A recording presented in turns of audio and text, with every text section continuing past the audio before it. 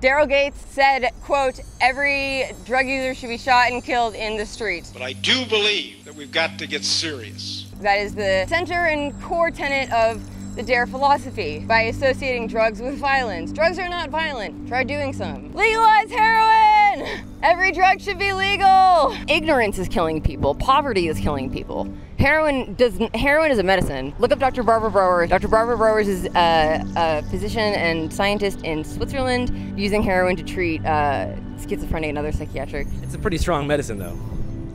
Well, yeah, but anything can be, you know, alcohol is a pretty strong medicine, but yet we still can drink beer. You know, you can have beer, you can have jungle juice, moonshine stuff, you know? Like, we do these things and we make them so that people can consume them safely. People don't want to talk about oxycodone, don't want to talk about pain meds like that, and we need to be talking about opioids being more accessible and yeah. safe. This is Haley, the only protester outside the International DARE conference in Las Vegas, where inside, hundreds of future DARE officers are being trained by seasoned veterans. Like Retro Bill, who once told me, by way of a roll in TV set in fifth grade, not to do cocaine or join a gang. These illegal drugs are always bad for you. Marijuana is also a harmful drug. Say no! Retro Bill, capital R E T R O, capital B I L L, also known as the International DARE Safety and Self Esteem Buddy, official title.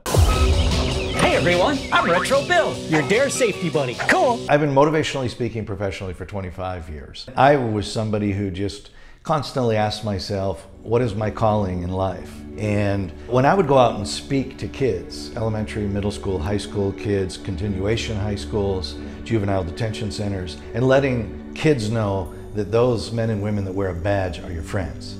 They're not foes. I noticed that there's a, a switch because it's easy to have them painted as if they're all bad and all they want to do is beat people up and throw people in jail. But I've had the luxury of these 25 years professionally to work with DARE officers in our schools. And I can tell you, that group are in law enforcement 100% for the right reasons. Your DARE officers are always there to help you keep safe, drug-free, and violence-free.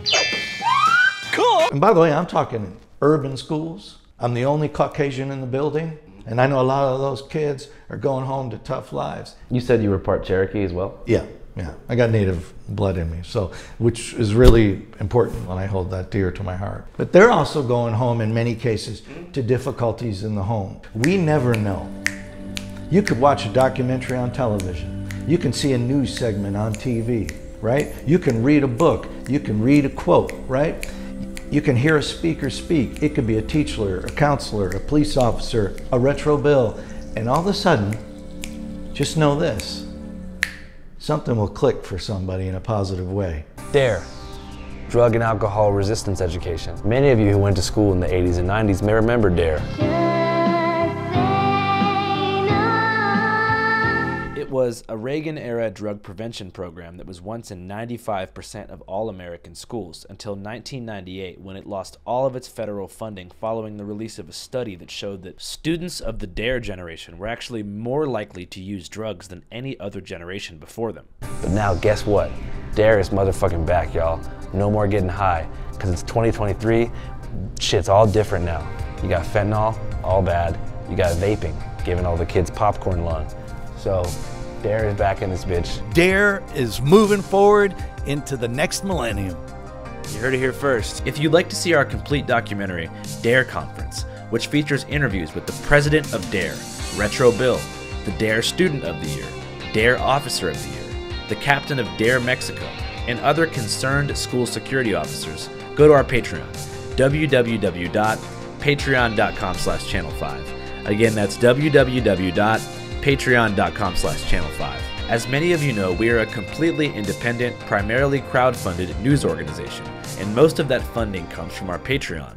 Have a nice day. Channel 5 live worldwide, Hollywood and Vine. Fuck the authority, Channel 5 News. Channel 55. We don't fuck with custers, and 5 is the best number.